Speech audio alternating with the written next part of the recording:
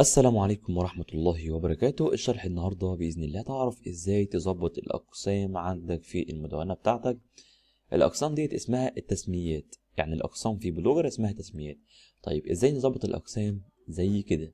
مثلا Blogger WordPress الربح دورات مواقع مفيدة وهكذا إلى آخره. في الأول كده إن شاء الله أنا هستخدم معاك قالب كون مدون اللي شرحته قبل كده وقالب جي إم. إزاي نضيف الأقسام هنا؟ وازاي نضيف الأقسام هنا.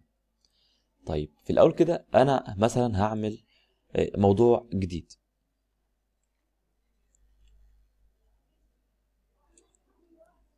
هنا بكتب اسم الموضوع زي ما شرحت قبل كده. مثلا هكتبه اسم اسم الموضوع. هنا بكتب ال- اللي أنا عايزه والصور والفيديو واي حاجة أنت عايز تضيفها بتضيفها هنا. هنا بقى التسميات اللي إحنا هنشرحها النهارده. دلوقتي الموضوع مثلا ده بيتكلم عن واتساب. واتساب. أو أي موضوع. مثلا ده بيتكلم عن الواتساب. فهكتب هنا إيه؟ قسم اسمه مثلا واتساب. أو قسم مثلا تطبيقات. أو أي قسم أنت عايزه. اللي أنت عايزه اعمله. بس طبعا كل قسم مخصص ليه. أنا مثلا دلوقتي بعمل إيه؟ آه، موضوع عن آه، الربح من الإنترنت. فبالتالي أكيد هيخلي الاسم القسم بتاعي أو التسمية بتاعته اسمها الربح أو الربح من الإنترنت كمثال. المهم أي اسم أنت عايزه بس بيدل عليه. يعني كل موضوع بتضيفه في القسم المخصص ليه. بتكلم عن الألعاب بضيفه في قسم الألعاب. بتكلم عن البرامج هضيفه في قسم البرامج. اللي أنت عايزه اكتبه. دلوقتي ده بيتكلم عن الواتساب فأنا هكتب إيه؟ مثلا واتساب. أو مثلا شروحات واتساب. اللي أنت عايزه. هدوس واتساب خلاص كده واتساب تمام؟ هضيف قسم واتساب اضغط على تم. كده أنا ضفت الموضوع في قسم واتساب. أنا طبعا مش هشرح ال- الوصف ولا ال- الرابط لا أنا هشرح بس إزاي تعمل التسميه لأن أنا شرحت كل حاجة في مواضيع سابقة. أنا ضيف قسم واتساب خلاص نشر آه، وهينشر معايا. طب أنا عايز أضيف ال- ال- الموضوع ده في قسمين قسم واتساب وقسم تاني اسمه مثلا شروحات. كمثال مثلا قسم واتساب وقسم شروحات. بضيف هنا وادوس تم. يبقى أنا كده ال- الموضوع ده هيتضاف في قسم واتساب وقسم شروحات زي ما أنت شايف كده. خلاص كده تمام. إيه، أدوس على نشر وتعالى نشوف مع بعضينا الموضوع هيبقى عامل إزاي. هفتح الموضوع. ده الموضوع بتاعي. أنا عايز أضيفه طب عايز أعمل قسم هنا أسميه واتساب. أعمله إزاي؟ باجي هنا على ال- المظهر. طبعا ده قالب كون مدون أجي هنا على المظهر تعديل HTML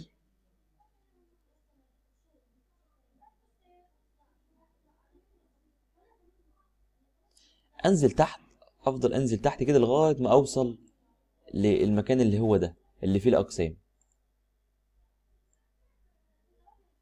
اتصل بينا اللي هي اللي فوق دي لا أنا هن- هنزل تحت شوية.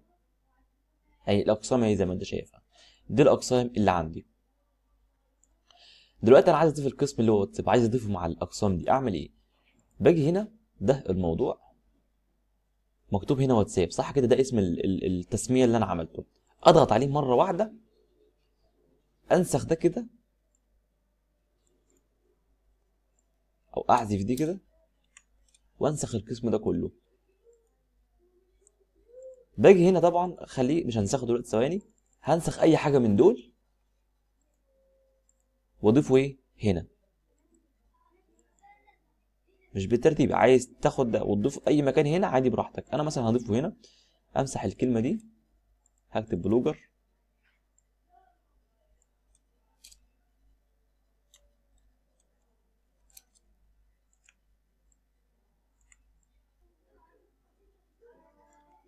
ماشي هكتب إيه؟ sorry هكتب واتساب. وهمسح الرابط ده كده. واضيف مكانه الرابط ده. أو أعمل إيه؟ ممكن أمسح دي كده.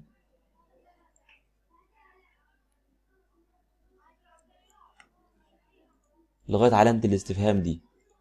وانسخ ده وأضيفه هنا قبل علامة الاستفهام. وأدوس على إيه؟ على حفظ.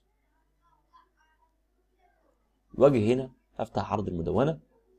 لو تلاحظ هنا ظهر لي واتساب. اضغط هنا على واتساب ظهر لي القسم اللي هو واتساب. كده أظن كده تمام.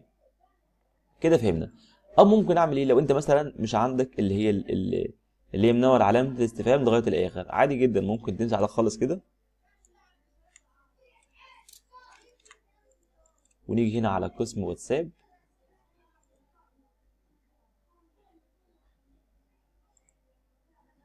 امسح من أول علامة الاستفهام دي للآخر امسحها خالص وأنسخ ده كده.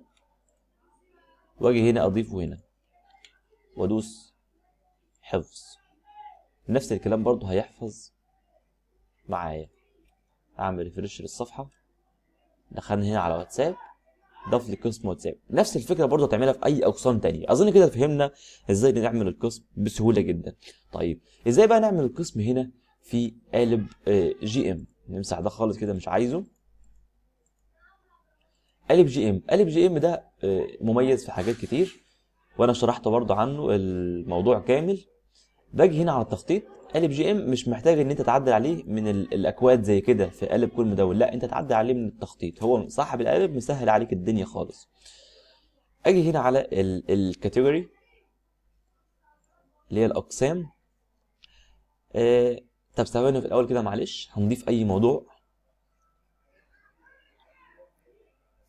مثلا آه طريقة عمل مكرونة بالبشاميل. آه، أكتب هنا اللي أنا عايزه. التسمية إيه؟ القسم بتاعها. مثلا آه، مكرونة. مثلا هسميه مكرونة. اسم القسم مكرونة. اللي هيضغط على كلمة مكرونة في الأقسام من هنا هيدخل على كل المواضيع اللي فيها مكرونة. اهو مثلا مكرونة. اضغط تم خلاص هظبط كل حاجة عندي وأدوس على نشر.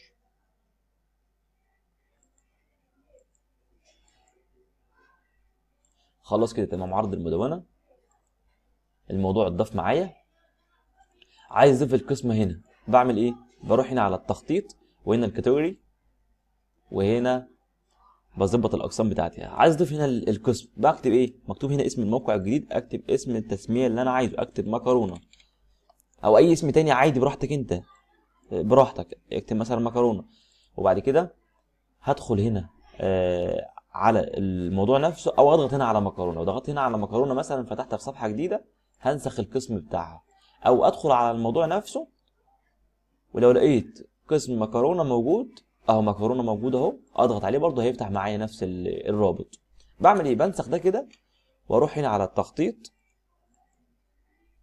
بمسح دي كده واضيف ال- القسم. تمام؟ تمام. بضغط هنا في أي حتة فاضيه هنا عشان يظهر لي إضافة ار- ارتباط. أدوس اضافه إضافة ارتباط خلاص كده القسم اتضاف معايا أضغط على حفظ. حفظ الترتيب عرض المدونة. لو تلاحظ كده عندي مكرونة آخر الأخبار ال 404 مك... قسم مكرونة اتضاف معايا. لو ضغطت هنا على آخر الأخبار مش هلاقي أي حاجة خالص. فاضية صح؟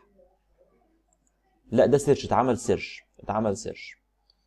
سيبك من دي خالص. لو ضغطت هنا على مكرونة هيظهر لي قسم مكرونة. لو مسحنا هنا عشان برضو مش عايزك تتلخبط همسح آخر ال آخر الأخبار و 404 أضغط على delete وأعمل حفظ.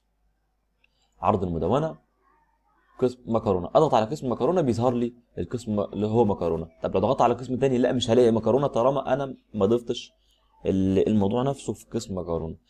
أظن كده أنا سهلت عليك الشرح خالص وفهمت إزاي تعمل القسم بتاعك من الاكواد وازاي تعمل القسم بتاعك أو التسمية بتاعتك من التخطيط على حسب طبعا القالب اللي معاك.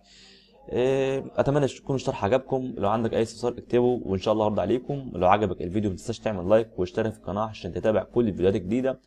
واستكمال لدورات Blogger إن شاء الله. هنعمل شروحات كتير جدا وسهلة للمبتدئين والمحترفين إن شاء الله. والسلام عليكم ورحمة الله وبركاته.